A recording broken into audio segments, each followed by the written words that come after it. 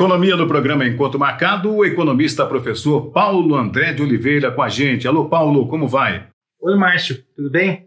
Paulo, até a metade de abril, até o começo de abril, o ministro da Fazenda, Fernando Haddad, deve enviar, pelo menos à Câmara Federal, o projeto da reforma tributária. O que, que isso implica para o nosso país, Paulo? Márcio, quando a gente fala em reforma tributária, talvez o principal o ponto para se pensar a respeito dela é por que fazer uma reforma tributária. É, no Brasil se fala um bom tempo em fazer reforma tributária porque nós temos um sistema tributário muito complexo. Desde a Constituição de 88, já foram criadas mais de 320 mil normas no sistema tributário nacional. Então, as empresas gastam muito tempo e muito dinheiro, muito recurso para manter em dia as suas obrigações com o governo. Então, isso daí é uma questão que precisa ser resolvida, precisa simplificar o sistema tributário nacional para que a gente tenha uh, mais agilidade e seja mais uh, que a gente não cometa erros, uh, as empresas não cometam erros e não precisa ter uma estrutura tão grande para isso. Uma das formas de fazer isso e uma das propostas da reforma tributária é, são unificar tributos, vários tributos federais, vários tributos estaduais e vários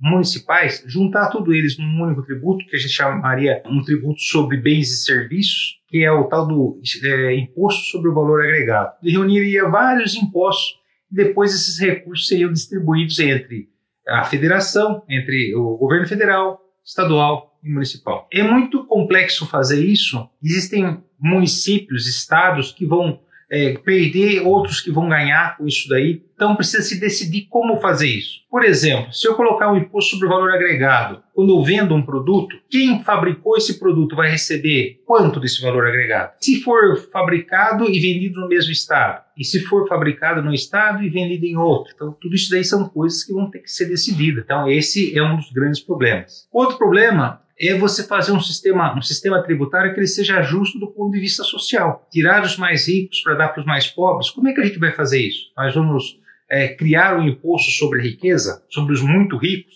Se fala bastante a respeito disso. O atual governo, agora em janeiro de 2023, ele criou uma secretaria especial para essa reforma tributária, né? Foi um ato do ministro da Fazenda e está trabalhando nisso daí. Isso daí vai acontecer junto com o Congresso. Precisam é, decidir isso daí junto. Tem que ter uma, uma ampla discussão na sociedade para fazer isso daí. Para que você equilibre essas forças, simplifique o sistema tributário e ainda seja justo do ponto de vista social. E ser justo do ponto de vista social tem que tudo isso aí tem que ter uma dosagem correta. Se eu tentar tirar muito de um para passar para o outro, será que esses mais ricos, né, que eu vou tirar mais os mais ricos, será que eles não vão sair do país? Será que o sistema tributário vai atrair empresas para o país ou vai afastar? Então é importante realmente uma ampla discussão da reforma tributária, é uma das prioridades do atual governo, agora em 2023. Espero que, que realmente isso se concretize, porque o país precisa disso para se tornar mais moderno né, e mais competitivo.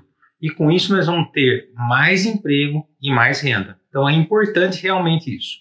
Mais um ponto que eu queria colocar aqui é que é, eu não acredito que com uma reforma tributária se vai pagar menos impostos, menos tributos. Eu acredito que a distribuição deles vai mudar. Atualmente, aproximadamente 33% do nosso produto interno bruto ele é pago em tributos. Eu não acredito que isso vai reduzir. Então, por quê? Porque nós temos o lado da despesa. Quando a gente fala de reforma tributária, nós estamos falando do lado da arrecadação. Então é isso, né? A reforma tributária realmente é muito importante e espero que ela se concretize é, ainda este ano.